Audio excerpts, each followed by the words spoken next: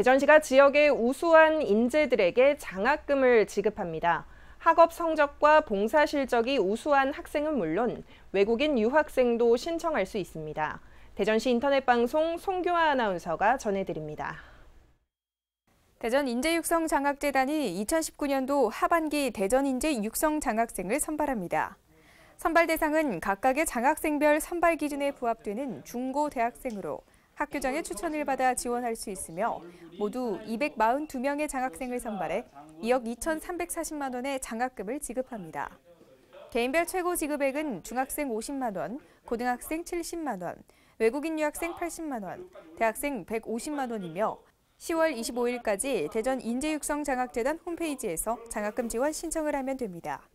한편 대전인재육성장학재단은 대전시 출연금과 기부금으로 운영되고 있습니다.